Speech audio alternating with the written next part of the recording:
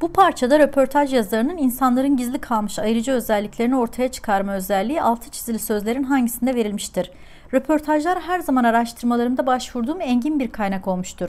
Hele de bir usta tarafından yaratılmışsa birkaç sayfaya bir biyografi, birkaç anı, biraz eleştiri ve neredeyse bir öykü sığar. Bu konuda öyle ustalar vardır ki röportaj yaptıkları kişinin sözlerindeki ayrıntılara kadar dalar. Onun iç dünyasındaki düğümleri ustaca inanılmaz birkaç soruyla olduğu gibi çözer. Kişiyi toplumun gözleri önüne seri verirler. Röportajların bir başka özelliği de abartı içermemeleridir. Bu metinlerde kişi tüm yalınlığıyla satırlardadır. Metnimizde insanların gizli kalmış ayırıcı özelliklerini ortaya çıkarmaya denk gelecek kelimeler arıyoruz. Engin kaynak, engin geniş demek. Burada verilen cümlede engin bir kaynakla ilgili herhangi bir kelime yok. O yüzden bu gider. Kişinin sözlerindeki ayrıntılara kadar dalmak. Yine burada kişinin sözleriyle ilgili bir şey yok. Geçiyoruz. İç dünyasındaki düğümler.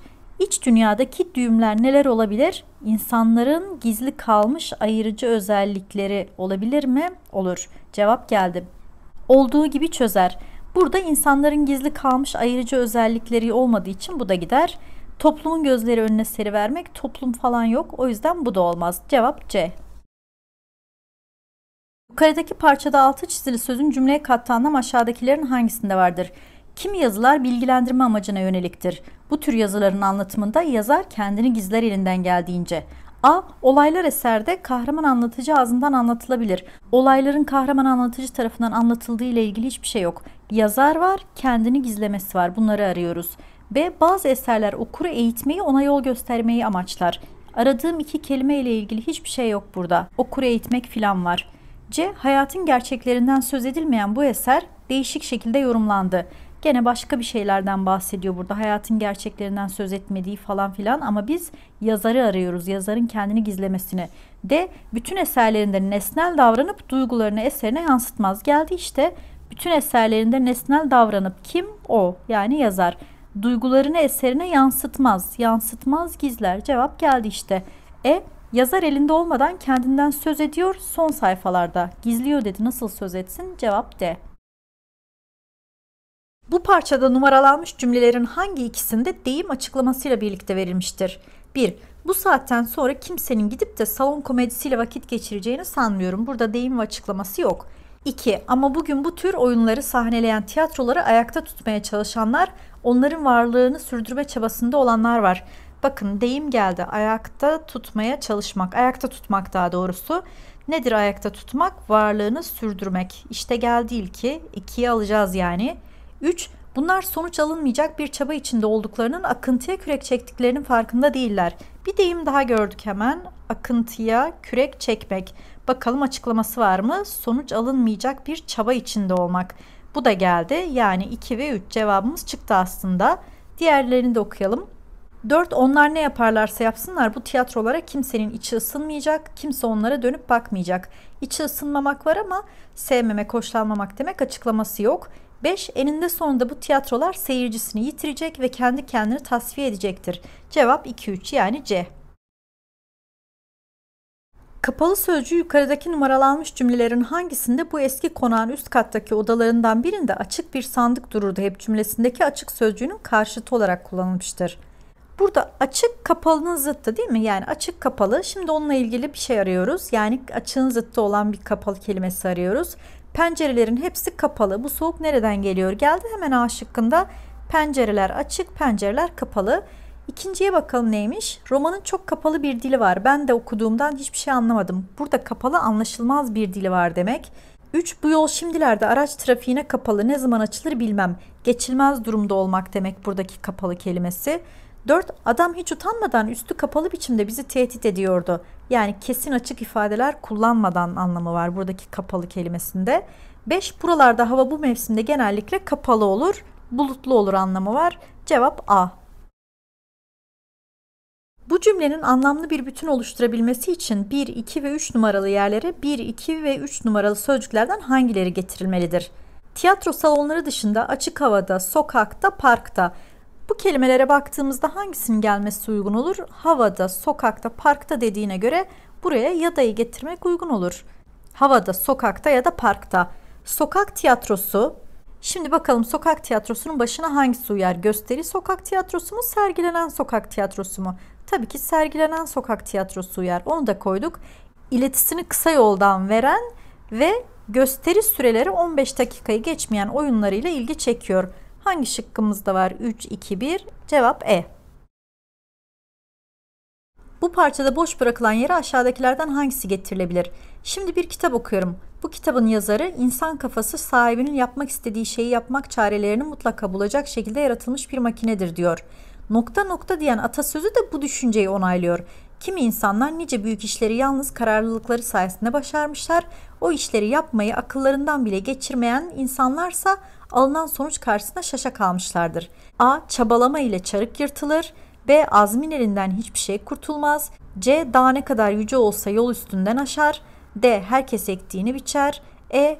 Kaşı herkes yapar ama sapını ortaya getiremez. Açıklamada özellikle kimi insanların büyük işleri yalnız kararlılıkları sayesinde başardıklarını söylediği için kararlılığı anlatan bir söz arıyoruz. Çabalama ile çarık yırtılır da çaba var, kararlılık yok. B. Azmin elinden hiçbir şey kurtulmaz. Azim işte kararlılıktır. Kararlılıkla azimle çalışmak. Geldi cevap ama bakalım. Dağ ne kadar yüce olsa yol üstünden aşar. Dağın yüceliği burada işin zorluğunu söylüyor. Ama burada yalnız kararlılıkları dediği için kararlılık arıyoruz. D. Herkes ektiğini biçer. Bu zaten çok uzak. E. Kaşığı herkes yapar ama sapını ortaya getiremez. Burada bir başarıdan söz etmek mümkün değil. Sapını yapamamışlar çünkü bu da olmaz. Cevap B. Aşağıdaki cümlelerin hangisinde altı çizili sözcük ayraç içinde verilen açıklamayla anlamca uyuşmamaktadır? A. En yakın dostların bile kusurlarını keskin bir zeka ile ortaya koyuyordu. Keskin zeka, kırıcı zeka bu olmaz. Keskin zeka kıvrak zeka demek. Burada keskin kelimesi kıvrak, kıvrak zeka anlamında kullanılmış. Kırıcı zeka diye bir şey olmaz zaten uyuşmuyor. Cevap geldi ama diğerlerine de bakalım. B. Bunca yıl geçti. Hala o müthiş korkunç fırtına sesini kulaklarımdan silemedim. Uydu değil mi burada? C. Sabahleyin yaptığı ağır kahvaltıyı sindirmek, hazmetmek hiç de kolay olmadı. Sindirmek, hazmetmek aynı. D. Bütün bu sorunların bu kadar kısa sürede çözülmesi pek de muhtemel olası değil. Doğru, muhtemel olmak, olası olmak aynı şey. E. İyi yetiştirilmemiş, eğitilmemiş gençler kendilerini küçük görüyor ve asi oluyorlar. Eğitilmemek, yetiştirilememek. Bu da olur. Cevap A. Aşağıdaki cümlelerin hangisinde alem sözcüğü numaralanmış anlamlarından herhangi birini karşılamamaktadır? 1. Dünya cihan 2. Belli bir gruptaki canlıların türü 3. Herkes başkaları 4. Ortam çevre 5. Farklı davranış içinde bulunan kimse A. Televizyonda en çok hayvanlar alemi ile ilgili belgeselleri seyrediyorum. Belli bir gruptaki canlıların bütününü getirebiliriz. Yani buraya 2 gelebilir. B. Abdülhak Şinasi Hisar, teşrifatlı mehtap alemlerinin yaşandığı Boğaziçi hayatını anlatır. Burada yok. Cevap çıktı yani ama diğerlerini de bulalım. C. İnsan alemde hayal ettiği müddetçe yaşar diyor Yahya Kemal. İnsan dünyada, cihanda yani buraya da biri getirebiliriz. Hayal ettiği müddetçe yaşar. A ve C gitti. D. Kürsüde bir anda dilim tutuldu. Konuşamadım. Aleme rezil oldum. Burada aleme rezil oldum. Herkese, başkalarına rezil oldum anlamı var. O yüzden buraya da 3'ü getirebiliriz. E. Çalışma aleminde uyumlu olmak zorundasın. Yoksa huzur bulamazsın. Çalışma alemi dediği çalışma ortamlarında, çalışma çevrelerinde yani buraya da 4'ü getirebiliriz. Cevap B. Hiç fark etmemişim. Ayakkabımın bağı çözülmüş cümlesindeki bağ sözcüğünün sesteşi aşağıdakilerin hangisinde kullanılmıştır? Sesteş demek anlamlar farklı, yazılışlar, okunuşlar aynı. A. Pazardan iki bağ maydanoz aldım birini sana vereyim. B. Bir saat sonra yaramın bağını değiştirmek için hastaneye gideceğim. C. Bir ülkeye vatandaşlık bağıyla bağlı olan insanlar o ülkenin vatandaşı sayılır. D. Datça'ya girdiğinizde sizi göz alabildiğine uzanan bağlar karşılar. E. Topa çok hızlı vurunca ayak bileğindeki eklem bağları zedelendi. Soruda ayakkabı bağı ip verilmişti. D şıkkında da bağ, üzüm bağı, üzümlerin yetiştiği yer. O yüzden cevap D. Altı çizili sözün bu cümleye kattığı anlam aşağıdakilerin hangisinde vardır? Sözlerim yeteri kadar anlaşılamamış olacak ki salonda fısıldaşmalar başladı. A. Betimlemelerde aşırıya kaçması okuyucuyu sıkıyordu. Yeteri kadar aşırıya kaçmak demek değil. B. Makale yazarının iyice araştırma yapması, konuya hakim olması gerekir. İyiceyi koyalım bakalım. Sözlerim iyice anlaşılamamış olacak ki salonda fısıldaşmalar başladı. Makale yazarının yeteri kadar araştırma yapması, konuya hakim olması gerekir. Tam da oturdu. Cevap bu demek ki. C. Süslü laflar ederek dinleyicinin dikkatini dağıtıyor, zaman kazanmaya çalışıyordu. Burada yok herhangi bir kelime. D. Takıldığım yerlerde göz atmak için bir konuşma metni hazırlamıştım. Burada da yok. E. Salonu dolduranlar bu samimi konuşmayı pek beğenmiş. Konuşmacıya hayran olmuştu. Pek var ama yeteri kadar demek değil. O yüzden cevap B çıkmıştı zaten. Ağır sözcüğü aşağıdaki cümlelerin hangisinde bu dizelerdeki anlamıyla kullanılmıştır? Ağır ağır önümden geçti deve kervanı. Bir kenarda göründü beldenin viran hanı. Ağır ağır önümden geçti. Burada yavaş yavaş önümden geçti anlamında kullanılmış. Yani şıklarda yavaş yavaş arayacağız. A. Gün doğar tarla kuşları uçuşurlar. Ağır bir aydınlık bildiğin şafak değil. Yavaş aydınlık değil bu. B. Ama öyle ağır konuştun ki ardından o gittikçe gerçek. Burada ağır konuşmak kırıcı konuşmak anlamında yavaş değil bu da gitti.